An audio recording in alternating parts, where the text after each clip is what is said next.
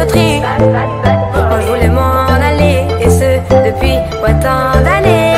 J'essaie de faire le vide, souvent sourire, ouais, de faire.